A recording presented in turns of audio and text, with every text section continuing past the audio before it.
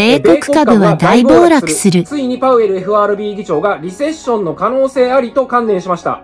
ドットチャートでは2023年に金利を3.6%、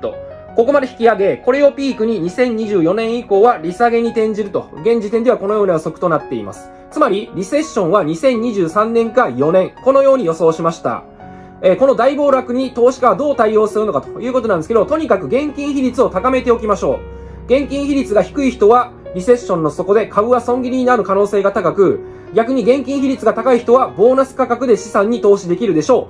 う。えーさらに詳しくお金を勉強したい人は、プロフィールのリンクをチェック。